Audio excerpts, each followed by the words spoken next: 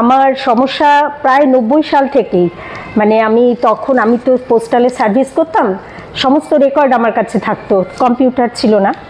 তা তখন আমি চেয়ারে উঠে একটা রেকর্ড পাড়তে গিয়ে রেকর্ডটা নাবালাম চেয়ারটা গেল সরে।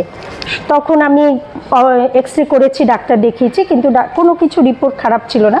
কিন্তু ডাক্তারবাবু বললেন, আপনি ফিফটি যখন ক্রস করবে প্রবলেম বুঝতে পারবেন। সত্যিই তাই, যখন ফিফটি ফোর ক্রস করলাম, তখন আমার পেন হতে শুরু করল বা পাটা। হতে হতে যখন সতেরো সাল দু হাজার সতেরোতে, ষোলোতে প্রচণ্ড ব্যথা মানে আমি লাইন ক্রস করতে পারতাম না, কাউকে ধরতে হতো। এই অল্প বয়সী ছেলে মেয়ে, তাদেরকে ওরা ঠিক বুঝতে পারতো, মুখ চেনা হয়ে গেছিল। কে বলতো, আন্টি ধরবো? কে বলতো, কাকিমা ধরবো? তবে আমি রাস্তার নামে পাটা আমার আস্তে আস্তে বেঁকে যাচ্ছে।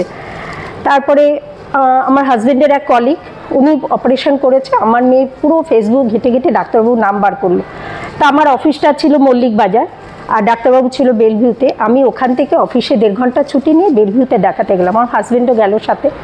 ডাক্তারবাবু দেখে বললেন, এর কোনো প্রেসক্রিপশন কোনো ওষুধ নেই।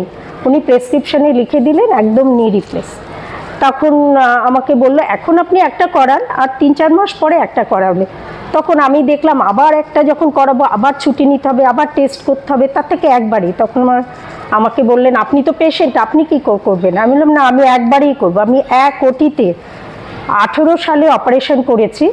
একদম যখনই অপারেশন সাত, পাঁচ দিন ছিলাম, বাড়িতে এসে একদম মানে পেনলেস কিছু ব্যথা নেই, কিছু নেই। আমি চার মাস মোটামুটি ছুটিতে থাকার পরে ট্রেন বাস করে আমি দু বছর টানা অফিস করেছি। আমি এখন এতটাই ভালো আছি, খুব ভালো আছি, তারপরে আমার হাজবেন্ডও করেছে। বাইশ সালে অপারেশন করেছে। তাই বলছি, আমি, আমার প্রচুর বন্ধু বান্ধব অনেকে আছে, এই ডাক্তারবাবুর কাছে অপারেশন করেছে। তাই বলছি, ভগবানকে তো অনুভব করা যায়, দেখা যায় না, কিন্তু ডাক্তারবাবু হচ্ছে আমাদের কাছে একটা ভগবান। আমি গত বছরে এসছি এইখানে এবছরে এসছি। আমি সব মানে কেউ কাউকে না বললে কেউ ধরতেই পারে না যে আমার নি রিপ্লেস আছে। আমার দুটোই, এবার আন্দামান থেকে ঘুরে যখন যাচ্ছি প্লেনে তখন ওই মেটাল ডিটেকটিভ দিয়ে আমাকে বলছে, কি আছে? প্যাপ- বাজছে কেন? আমি বললাম, আমার নি রিপ্লেস আছে। বলছে, আপনাকে তো বোঝা যাচ্ছে না? তখন আমি দেখালাম। তখন বলছে, আমি কি ধরবো? আমি না না, আমায় ধরতে হবে না।